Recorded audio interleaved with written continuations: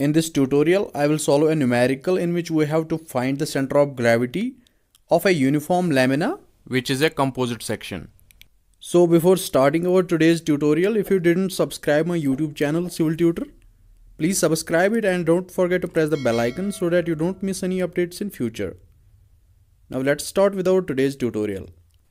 Whenever we need to find the center of gravity of a composite section, we divide the section into a number of areas. Similarly, we will divide this lamina into three areas, area 1, area 2 and area 3. In which area 1 is a rectangular shape having dimensions 12 cm into 6 cm. Area 2 is a semicircle having a radius of 3 cm and a diameter of 6 cm. While as area 3 is a triangular shape having a base of 6 cm and height 6 cm. Now let's choose a reference axis for calculation of y bar. So we will choose the bottom line AB as reference axis for calculation of y bar. Whereas y bar is the distance of centroid of this whole lamina from the bottom line AB.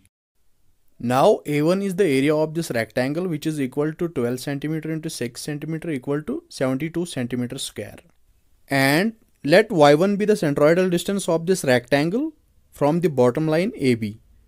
As we know the rectangle has a centroid of d by 2 so this Y1 will be equal to 6 divided by 2 equal to 3 cm. A2 is the area of this semicircle having a radius of 3 cm so A2 will be equal to pi by 2 r square. On substituting r equal to 3 centimeter, we will get the value of A2 equal to 14.13 centimeter square. Now let y2 be the centroidal distance of this area 2 from bottom line AB. This y2 will be equal to 6 centimeter divided by 2 equal to 3 centimeter. A3 is the area of this triangle which will be equal to 6 centimeter into 6 centimeter divided by 2 equal to 18 centimeter square. And let y3 be the centroidal distance of this area 3 from bottom line AB which will be equal to this 6 centimeter plus centroid of this triangle which will be equal to h by 3 equal to 6 by 3. So we will get the value of y3 equal to 8 centimeter.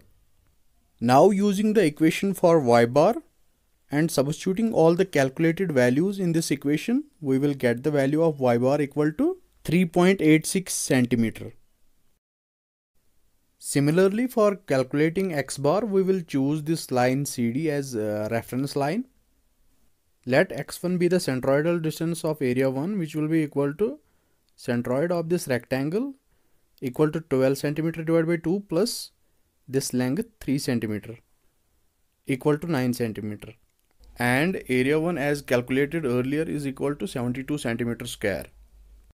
Let x2 be the centroidal distance of this area 2 which is a semicircle. So x2 will be equal to r minus 4r by 3 pi and on substituting these values we will get x2 equal to 1.72 centimeter. This r minus 4r by 3 pi is the distance of uh, centroid of this semicircle from reference line CD. As we know centroid of a semicircle about its diameter is equal to 4r by 3 pi. So we will get the value of x2 by subtracting this uh, centroidal distance about its diameter from the radius of uh, this semicircle. And A2 as calculated earlier is equal to 14.13 centimeter square. Now let x3 be the centroidal distance of area 3 which will be equal to 3 centimeter plus 6 centimeter plus this 3 centimeter. Since this triangle is symmetrical about this axis so CG of this triangle will lie on the axis of symmetry and A3 as calculated earlier is equal to 18 centimeter square. Now using the equation for x bar and substituting all the values in this equation we will get the value of x bar equal to 8.53 centimeter. So this was all for today. For much more informative and interesting content, subscribe my YouTube channel Civil Tutor and don't forget to press the bell icon so that you don't miss any updates in future. You can also follow me on Instagram and Facebook with the links given in description. We'll catch you up soon. Thank you.